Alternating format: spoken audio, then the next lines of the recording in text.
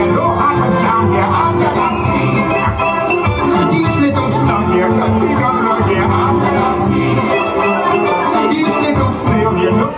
Ariel, listen to me. The human world, it's a mess. Life under the sea is better than anything they got up there. The seaweed is always greener in somebody else's lake.